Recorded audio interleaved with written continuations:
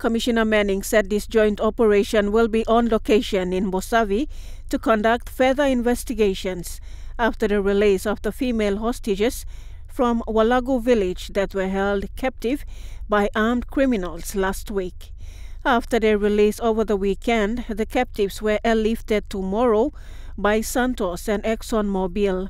The girls went through medical checks there, and every effort is being made to ensure they have the support they require to get through this ordeal.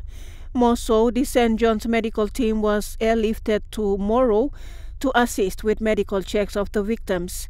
Commissioner Manning said this joint security operation will be relentless further assuring the general public that security personnel will persist these ruthless criminals until they are captured and brought to face justice.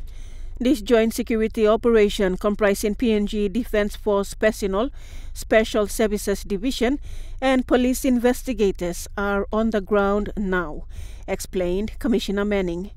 He is calling for the support and cooperation of leaders at all levels from the village, district, provincial and national level to deal with this matter. Although challenged with poor communication in the area, the lack of road networks into the area, lack of road links accompanied by the rugged terrains, still security forces are determined to locate and deal with this threat, said Commissioner Manning. Lindy Suharupa, National EMTV News.